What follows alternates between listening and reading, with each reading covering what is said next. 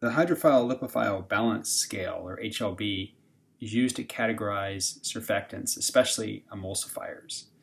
And the idea is that if you have a high number, so high HLB is equal to very hydrophilic, and a low number is going to be very hydrophobic. And of course, the balance between which part of the molecule, how big the hydrophobic is versus how big the hydrophilic is, is going to determine the, uh, the shape of the molecule and which type of emulsion it can stabilize. And of course, hydrophobic, we could also try to be a little more positive here and call it lipophilic. Okay. All right. The if, since we're talking about emulsions, let's talk about the ideal numbers that we want to use for an emulsion. If we have an emulsifier with an HLB equal to 3 to 6, then that is going to be ideal for water and oil emulsions.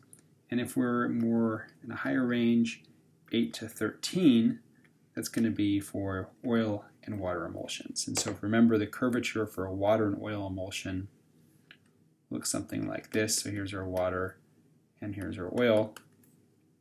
And so we wanted to have something with um, a smaller portion of the molecule in the water in the droplet and a bigger portion of the molecule outside. And so you can see if you have something that has, uh, remember, a low HLB number corresponds to something that's mainly hydrophobic. So the bigger part of the molecule is out here in the oil. That makes sense. If we had a droplet that was uh, an oil and water emulsion, then you want to have the bigger part of the molecule on the outside. So you might have a, an emulsifier that looks something like this. You can see the bigger part of the molecule is the hydrophilic part, so that means that we expect it to have a high HLB number. So notice high goes with oil and water, and low goes with water and oil. So it kind of makes sense. Okay, that's very fine. How do we figure out the HLB of an emulsifying agent? If you buy a commercial emulsifying agent, the HLB number will be published. What if you wanted to design one or sort of figure out if some molecule could be used as an emulsifying agent, and if so, would it stabilize oil and water or water and oil? Well, in this case, it's nice to have some way of estimating HLB for a new compound. So let's look at that next.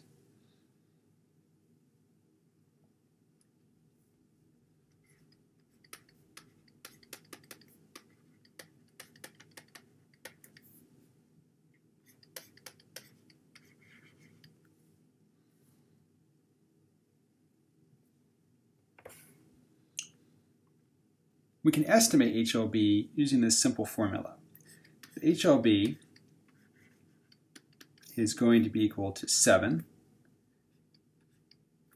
plus a number called HLB hydrophile. And this is just a number that's going to characterize the hydrophilic part of the molecule minus HLB for the lipophile. So we're going to have numbers that characterize how big this portion is, how big this portion is, and that's going to give us our HLB. So let's look at some of those numbers. Basically, we're going to chop our molecule into a bunch of pieces and then use those pieces to, uh, to come up with our number. So let's look at some, some numbers. First, let's look at some, some hydrophiles.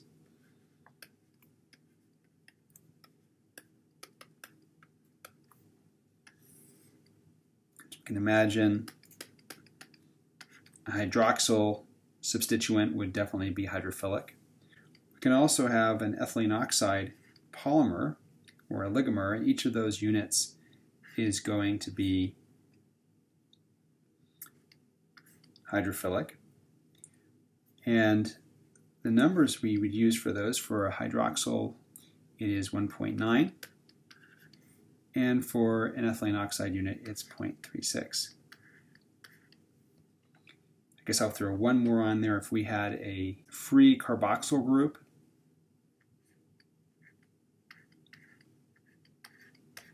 it's a pretty high HLB of 2.1, so quite hydrophilic. For the lipophile groups,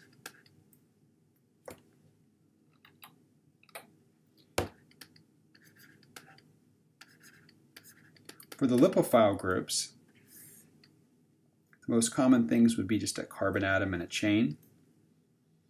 So we could have something like a methyl group or perhaps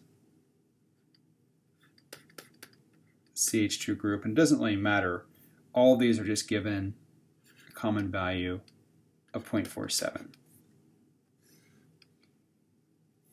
Another common group you might see is a propylene glycol unit. And that extra carbon turns this from being a hydrophilic group into a lipophilic group with a value of 0.11. So you can imagine making a, maybe a block copolymer or a block oligomer where you had some uh, propylene glycol or polypropylene glycol and, and, polyethylene glycol. And depending upon the balance, you could have a, a section that was lipophilic and a section that was hydrophilic. Okay, so those are going to be our, our groups. Now let's do an example.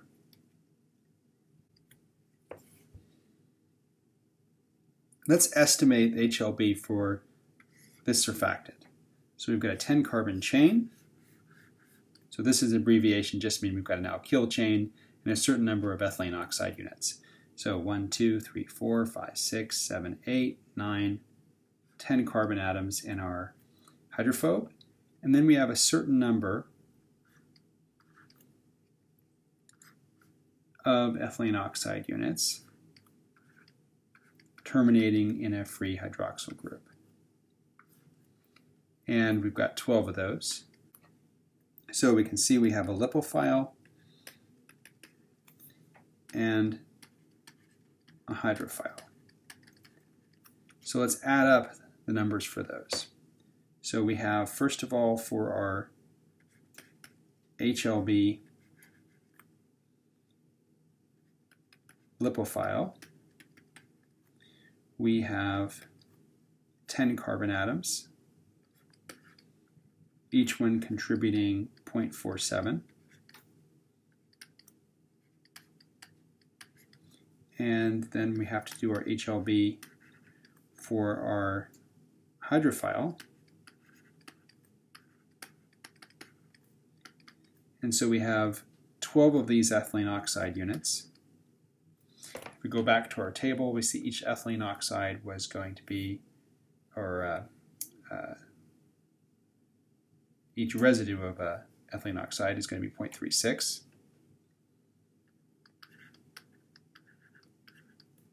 we also have this free hydroxyl over here. And looking back at the table, we see that is going to be 1.9. So the overall HLB for our molecule is going to be 7. It's just the base value plus our HLB hydrophile, which is 6.2, minus the HLB lipophile. And we end up with a, a value of 8.5 and we expect that 8.5 is going to be something that will stabilize an oil and water emulsion.